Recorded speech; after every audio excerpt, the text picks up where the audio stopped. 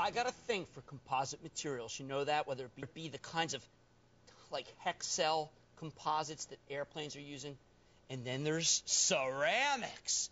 And the king of ceramics, even to the point of body armor, is Ceradyne, a company that I have liked for so long. I bumped into this fellow's relative the other day in Soho, and I said, I got to get him on the phone. This is Joel Moskowitz, chairman and CEO of Ceradyne. Sir, your business is smoking. Is it more defense or is it more aerospace?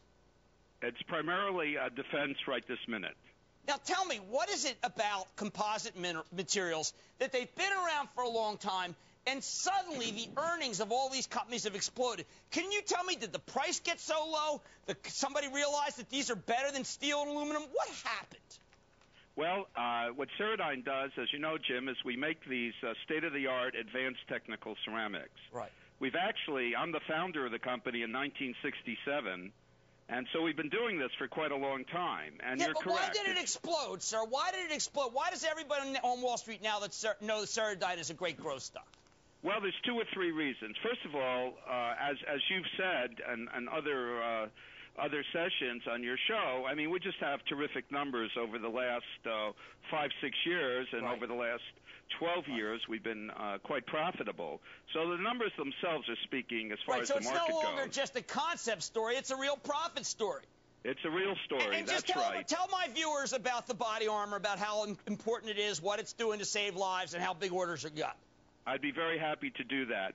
Ceradyne is the world's leader in a particular ceramic that's known as boron carbide. Okay. Boron carbide weighs 30% of the steel, of the weight of steel, and it's much, much harder.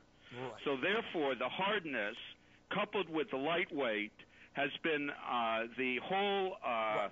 uh, cause of being able to stop uh, bullets. All right. And well, Joel, stopping bullets is very important. So we make right. the lightest, hardest material known to man at a time when it's in great demand. That's what I want, Joel Moskowitz from Ceradyne. Two thumbs up, way up for that stock. And let me tell you something. That company is just now breaking out in earnings. Mad Money's back in.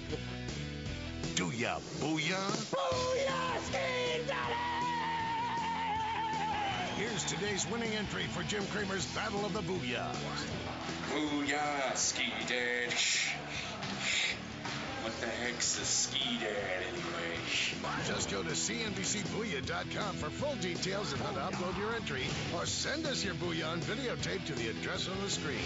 The Battle of the Booyahs, only on CNBC's Mad Money.